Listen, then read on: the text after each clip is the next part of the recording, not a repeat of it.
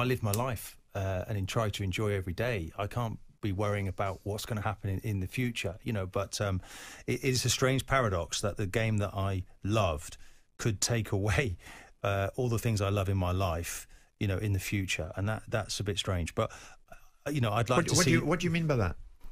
What I mean by that is that having watched my mother, the demise of my mother with dementia, um, the person becomes a shell of the person they formerly were.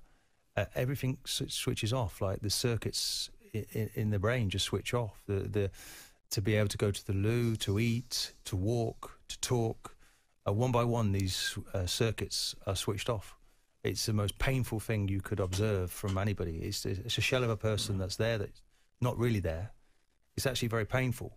So, um, you know, I, I've seen Can, it. can, I, can I touch on something, Martin? You, you said to me, I'm all right to say this. When you played, you sometimes get double vision. You kept it to yourself, You kept quiet about it. I did at the end of my career, yes. Um, I did had um, a, one or two instances and wasn't really sure what it was uh, a dizziness and then a double vision.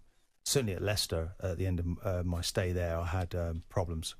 Um, and I'm sure it's the, it's basically when a ball. I mean, there's two types of ball, Jim. The ball comes from the keeper. I think it's losing its velocity. It's I don't think it's going to hurt me, but when one's drilled into the box across with energy on it, I don't know, coming in at 60, 70 miles an hour, and you know, you you judder right down to your boots. Um, if I headed anything, uh, I used to do a bit of heading practice with my son, sort of the last four or five years. The next day, my head would be so painful. But when I played, I didn't have any head pain. What So- still? So, so, so if you had a, Well, he- was- a heading routine with your son today, if we tonight just- you're going to get a headache. well, my head would be sore. You know, so I don't know whether that's normal. Um, but you know, it's just it, when you're playing, I think there's almost like a, a numbness, a toughness to that. But when you try to go back to it now to head the ball, it's like, don't really want to do that because my head hurts afterwards. So that's some that's something new. I don't know whether that's relevant in terms of um, the screening that they're doing, the reports that they're doing. But we need to get Dawn, as I say, Astle uh, up heading this task force. Yeah. Uh, she may feel that you know this is a bit of tokenism from the PFA because it's come so belatedly.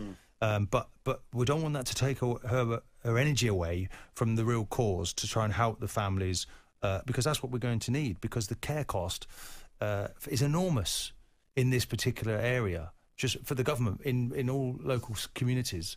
But if it's going to be accelerated and we can prove that, then I think there is a duty of care. Is that where where's the money can come from? I, I hope Well, the money shouldn't be any problem at all.